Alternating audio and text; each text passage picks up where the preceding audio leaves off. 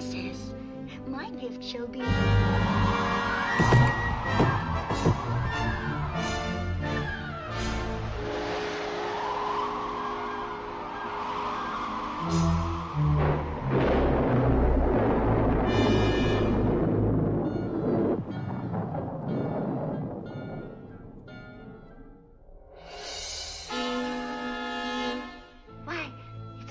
Maleficent. What does she want here? Shh. Well, quite a glittering assemblage, King Stephen. Royalty, nobility, the gentry, and. how quaint. Even the rabble.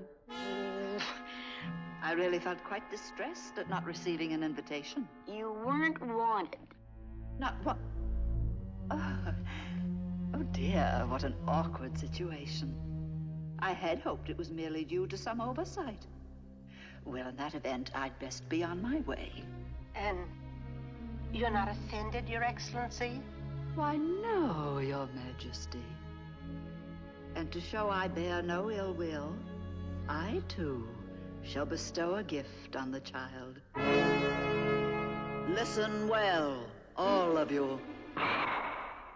The princess shall indeed grow in grace and beauty, beloved by all who know her.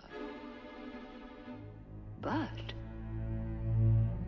before the sun sets on her 16th birthday, she shall prick her finger on the spindle of a spinning wheel and die.